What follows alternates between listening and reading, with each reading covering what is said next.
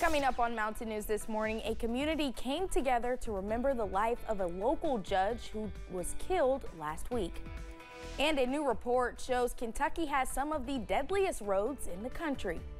Dedicated to eastern and southern Kentucky, this is WYMT Mountain News this morning.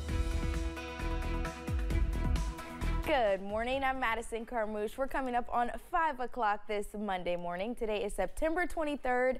Let's send it over to meteorologist Mace Michaels for a look at your forecast. Good morning, Madison. We are looking at warm temperatures this morning and some raindrops in the area as well. A look at Morehead, where some showers are passing by at 68. You can notice I 64 there, kind of glistening a little bit in some of the lights. That's because, of course, there's been some showers falling through. And we have a couple of sprinkles and isolated showers here around the hazard area as well. Had some foggy patches earlier on. We will have that in areas this morning too. Our temperatures are in the mid 60s. When you look at visibility, Harlan is down to around a mile, Jonesville is under a mile, even near zero now, and Williamsburg near a one mile visibility. So watch out for patchy fog along with some of the pockets of rain. 60s for our temperatures this morning, and even Prestonsburg and Pikeville are starting as warm as 70 and Monticello at 72. Here's some of those showers roaming through the area from Morehead over to Louisa, north of Paintsville, and a couple of showers here in and around the Hazard area. Moving off to the east at about 20 miles an hour, so just a passing shower or two this morning. We may have a few more for later this afternoon as highs climb up into the low 80s. Full forecast for the week ahead looks wet. More on that coming up, Madison. All right, Mace, thank you.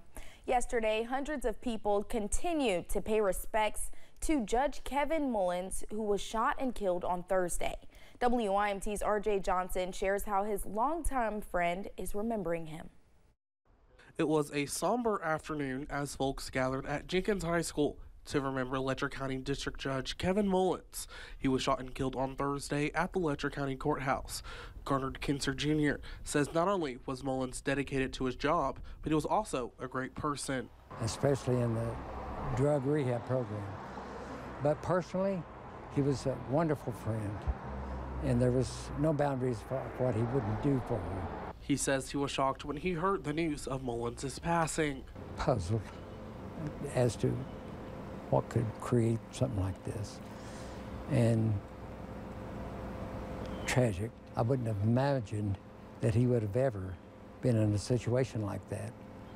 But of course, all judges and all people in the, in the judicial system face that possibility every day. Kinser says there has been a lot of negative attention on the community. People have thoughts about this area anyway, and this has sort of drawn attention to that. And it's been a, like a big cloud, dark cloud over us that we, that we don't deserve. Saying with limited details as to what led to the shooting, Kinser says he is waiting to see it play out in court.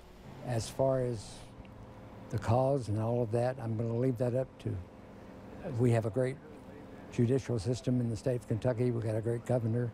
We've got a great attorney general, and we've got a great judicial office in Letcher County. Mullins died at the age of 54.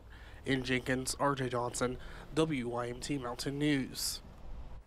Judge Mullins' death is still under investigation, but a preliminary investigation from Kentucky State Police indicates he was shot following an argument with Letcher County Sheriff Mickey Stines. Stines has since been charged with Mullins' murder. Kentucky courts are still looking for a judge who can hear the case as arraignments were normally heard by the victim, Judge Mullins. Commonwealth's attorney Jackie Steele says the arraignment will be at 11 on Wednesday morning in Carter County. The Letcher County community came together for a first step at healing after the shooting on Thursday. Members of the Graham Memorial Presbyterian Church say the best way to heal is to come together in prayer. Dozens of folks in the community gathered in front of the Letcher County Courthouse to pray for the healing of those impacted by the shooting. Just want to help everyone in this community be able to heal be able to love, be able to care for each other, because that's what we are. We're a community of caring. Folks in attendance say in times of hardship, people must lean on each other for support. A man is accused of shooting his mother and grandmother in Wayne County. Kentucky State Police were called around 11 on Saturday night because of reported shots fired on Winchester Road.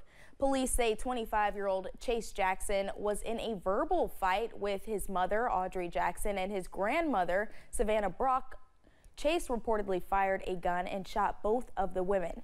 They were airlifted to the hospital. Jackson was taken to the Wayne County Detention Center and charged with attempted murder and first degree assault. Friday, the Kentucky State Police confirmed the body found in Laurel County was the suspected I-75 shooter, Joseph Couch. The state's chief medical examiner says the body was positively identified through DNA extracted from the bone. The medical examiner says the body was badly decomposed and his cause of death is believed to be a self-inflicted gunshot wound. The search for Couch lasted 12 days after police say he fired shots on I-75, injuring five people. And during the weekend, part of the Daniel Boone National Forest was reopened after being shut down during the search for Joseph Couch. Officials with the U.S. Forest Service closed several parts of the Sheltowee Trace on September 10th as law enforcement searched the area. The trail reopened on Friday, two days after Couch's body was found. A new study shows Kentucky has some of the deadliest highways in the country. The Bluegrass State ranks second, only behind South Carolina. The study from Suzuki Law Offices shows Kentucky had around 12 crashes per billion vehicle miles. In 2022, the state recorded a total of 593 deadly crashes. Cane Run Road in Louisville is one of the most dangerous stretches. The other deadliest road is Kentucky Route 11, which runs north to south in this part of the state. Friday, Governor Andy Beshear called on Representative Daniel Grossberg to resign. Grossberg has been in the spotlight for a couple of months now after a wide range of scathing allegations were made against him, including inappropriate behavior toward fellow staffers and legislators and an reported shady business deal with a car dealer. On Friday, the Lexington Herald Leader published a new story claiming that Grossberg was banned from the Louisville Strip Club for inappropriately touching exotic dancers and offering one of them $5,000 to have sex with him. In a quickly arranged news conference on Friday, Governor Beshear said enough is enough. From an individual here at the Capitol that um, felt unsafe, uh, to others at political events that have felt unsafe, to, to, to the article today.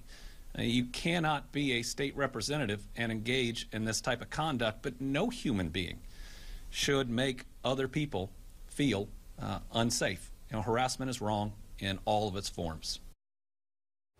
Lieutenant Governor Jacqueline Coleman, Congressman Morgan McGarvey, and the chair of the Louisville Democratic Party also released statements calling for Grossberg's resignation.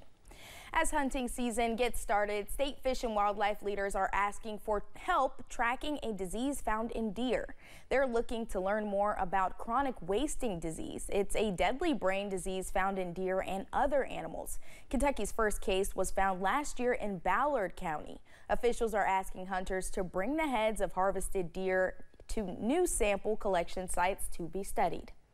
We're doing this um, statewide right? Just because there's not as much risk in one place as there is, you know, down here doesn't mean we shouldn't be looking. We need to do our good statewide surveillance and make sure that um, if we do detect a disease that we're finding it early so we can do something about it.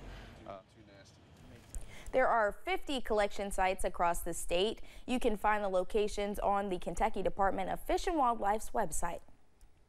Thanks for getting your day started with us here on Mountain News this morning. Still to come, the United States is once again facing a deadline to find funding while lawmakers on both sides hash it out. Clouds and showers pushing through the area. We'll look at how wet it may be the next several days coming up.